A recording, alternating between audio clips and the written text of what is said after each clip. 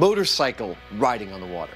A motorcycle actually riding on top of water. Apparently, we got a motorcyclist. He's riding down the freeway way too fast. He comes to a bend, and when he comes to the bend, he can't make it, so he plows right through it, and there is a lake, except that he stays on top of the lake and makes it safely to the other side. Sounds dangerous and fun. I'm in.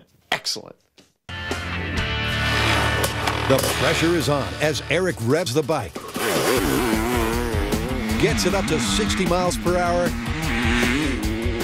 And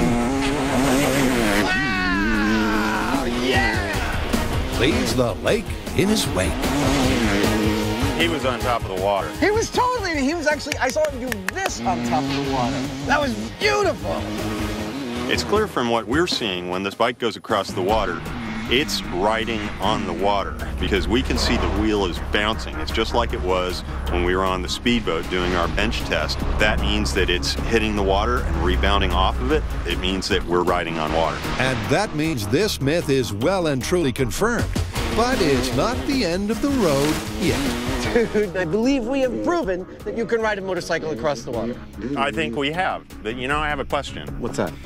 Is what is happening there actually due to his momentum, like skipping a stone across water, or is a bike this powerful capable of actually going out like a watercraft and continuing to power its way across the top of the water? That is a good question. I want to try it. okay.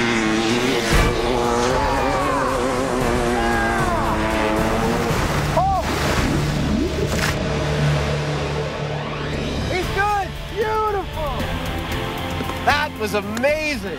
It seemed to go on forever. Just riding, riding, riding, riding. That's like easily 300 feet or more, buddy. That was amazing. Piece of cake. How you feeling? Relieved it's over and I'm alive.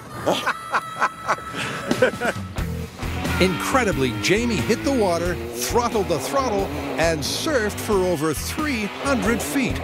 And while he wasn't able to get a good enough grip to carry on across, it's still myth well and truly confirmed. In case there's any doubt, I'm standing on the bike. It's in about eight feet of water, maybe.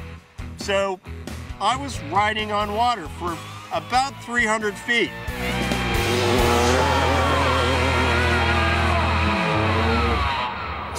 Riding a motorcycle across the water, busted, plausible, or confirmed?